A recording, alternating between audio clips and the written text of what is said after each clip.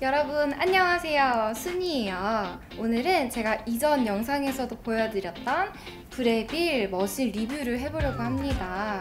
제가 브레빌을 사용한 지 벌써 1년이 지난 거예요. 그래서 오늘 영상은 브레빌 1년 사용 후기인데요.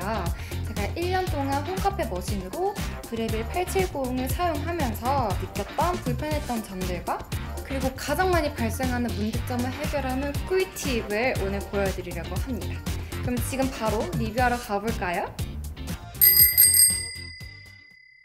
먼저 1년 동안 브레비 머신을 쓰면서 장점도 많고 디자인도 굉장히 예뻐가지고 인테리어 용으로도 손색이 없지만 어, 불편했던 점이 몇 가지 있었어요. 먼저 첫 번째로는 소음이었는데요.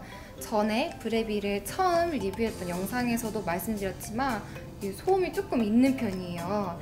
크게는 이제 세 가지 동작을 할 때 소음이 크게 나는데 첫 번째로는 머신을 처음 켜서 예열할 때 그리고 두 번째로는 샷을 추출할 때 그리고 세 번째로는 스팀을 다 하고 난 후인데요.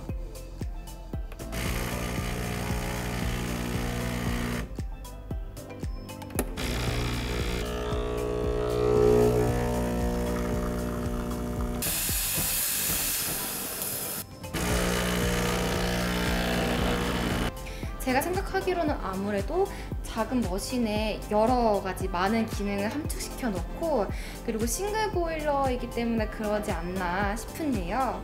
다행히도 소음이 나는 길이, 시간은 짧다는 점 참고해 주시면 될 것 같아요. 두 번째로는 어, 이 가벼운 템퍼인데요. 템퍼 무게가 가벼워서 캠핑을 할 때 제 팔에 힘이 다른 tamper보다 조금 더 들어가는 편이에요. 카페가 아니기 때문에 커피를 여러 잔 내리는 일이 드물어서 어깨나 손목에 많은 무리가 가지는 않지만 어, tamper 무게가 가벼우면 내 힘을 더 쓰게 되고 그러면 매번 일정한 커피 맛을 내리긴 어렵겠죠. 아무래도 힘을 일정하게 가긴 어려우니까 그래서 저는 이번에 handleless tamper를 구매했고 그리고 구매한 김에 distributor도 같이 구매했는데요. 두 개가 되게 비슷하게 생겼는데 이렇게 V자로 볼록한 게 distributor예요. distributor는 원두를 고르게 펴주는 역할을 하고요. 그리고 portafilter 안에 원두가 한쪽으로 쏠리는 걸 방지해줘서 커피 맛을 일정하게 해주는 역할을 합니다. 이 아래가 평평한 거는 handleless tamper인데요. distributor로 원두를 골고루 펴준 다음에 이 tamper로 누르기만 하면 끝입니다. 이게 일반 tamper보다 무게감이 있어서 어깨에 힘이 덜 들어가고 그리고 수평을 맞추는 게 확실히 수월합니다. 자 그렇다고 해서 브레빌 tamper가 아예 못 쓸 정도냐 이 machine 사면은 tamper 무조건 따로 사야 되냐 그건 아니고요. 저는 아무래도 유튜브로 커피를 보여줘야 하는 일이 많아서 템퍼를 별도로 구매했지만 집에서 홈카페용으로 브레빌 머신을 사용하시는 분들이라면 사실 브레빌 템퍼로도 충분히 괜찮습니다.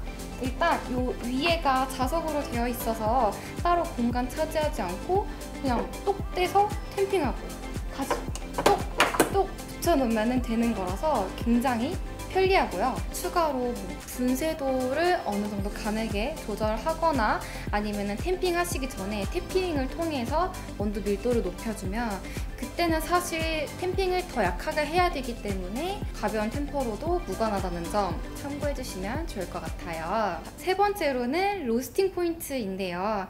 제가 1년 동안 브레빌 머신을 사용을 하면서 다양한 원두를 사용을 해봤고 또 원두는 아무래도 특성에 맞게 로스팅을 해야 되기 때문에 로스팅 포인트 또한 다양했는데요. 그 중에서도 너무 강하게 로스팅한 원두들은 브레빌이랑 잘 맞지 않더라고요. 대표적으로는 스타벅스 원두 같은 강배전으로 볶은 원두들은 분쇄도나 템핑 강도 그리고 도직량을 아무리 조절해도 맛있고 쫀쫀한 에스프레소를 추출하기가 좀 어려웠어요.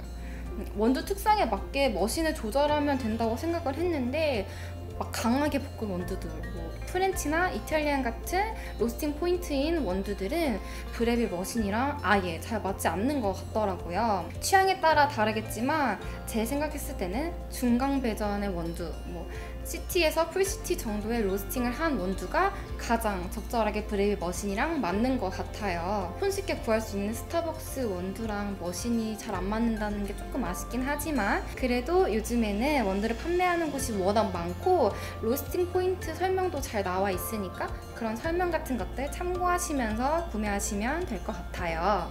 자, 마지막으로는 제가 너무 불편했던 점들만 말씀드린 것 같아서 꿀팁을 하나 알려드리려고 하는데요. 브레비를 사용하면서 저도 유튜브를 많이 봤는데 추출할 때 압력이 9바까지 올라가지 않는다는 사람들이 좀 많았던 것 같아요. 분쇄도나 도직량을 조절해도 그렇다는 분들이 많아서 압력을 올릴 수 있는 방법을 알려드리려고 합니다. 첫 번째로는 분쇄도를 조절하는 다이얼을 16으로 맞춰준 다음에 어, 호퍼를 분리해줍니다. 여기 보시면 쇠 손잡이가 있어요.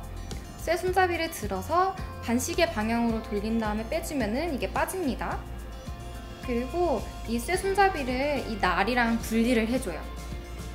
분리해준 다음 이 빨간 점이 6으로 맞춰져 있을 거예요. 이거를 돌려서 숫자 1로 맞춰줍니다. 장착하실 때 이 빨간 점을 홈에다가 맞춰주셔야 장착이 잘 되니까요. 이 점 참고해주세요. 자, 이렇게 날을 분리해서 분쇄도를 조절해준 다음에 원두를 추출하면 압력이 올라가는 것을 확인하실 수 있을 겁니다. 최대한 분쇄도 조절이나 도직량을 조절하셔서 압력을 확인해 보시고 안 됐을 때 마지막으로 제가 방금 했던 방법 같이 조절해 주시면 될 것 같습니다. 자, 오늘 저의 브레빌 리뷰 어떠셨나요?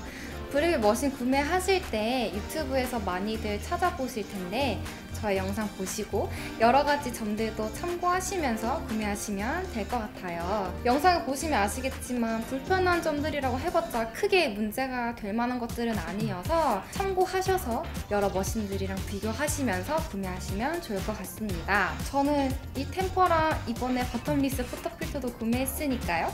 다음에는 더 맛있는 커피 영상으로 찾아뵙도록 하겠습니다. 그럼 다음에 또 봐요. 안녕!